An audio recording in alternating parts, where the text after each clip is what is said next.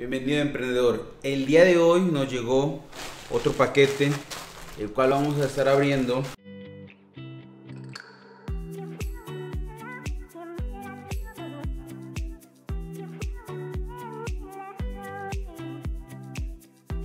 El día de hoy nos llegó esta belleza que es para este micrófono de hecho.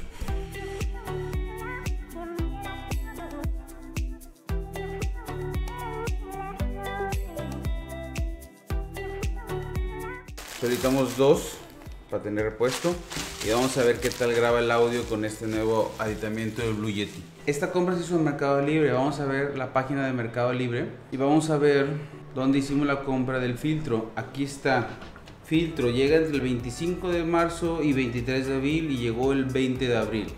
Vamos a ver los detalles de esta compra. Fueron dos productos, fueron dos filtros, los cuales estamos actualmente utilizando. Fueron 281 pesos por el producto. La compra se hizo el 5 de marzo. Estamos a 20 de abril.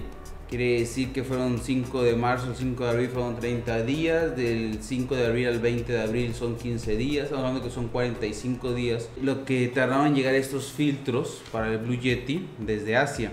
Vamos a ver el anuncio donde lo compramos. Puedes ver el filtro que ya viste que abrimos filtro POL para Blue Yeti. Y en este caso, aquí dice que el envío es internacional y que llega entre el 26 de mayo y 16 de junio, porque en esta opción estoy viendo otra vez la publicación. Lo que quiero que revises es que el producto viene desde China y aquí viene sin costos de importación.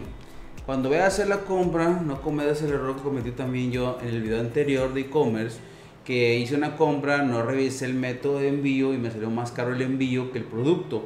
En este caso aquí también puedes ver los impuestos que vas a pagar, dice sin costos de importación.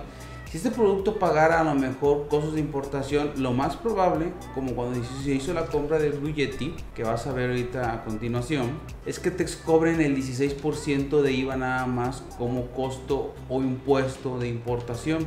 El Blue Yeti también lo compramos por Mercado Libre el Blue, Yeti.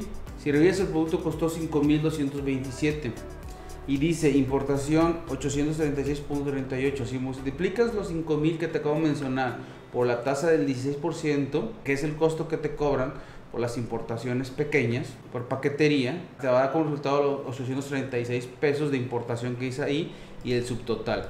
Nos vamos a ir a la publicación. Si fijas en la publicación, no te sale ese apartado tendrías que agregarlo al carrito, comprarlo para que te salga todo lo que, te comento.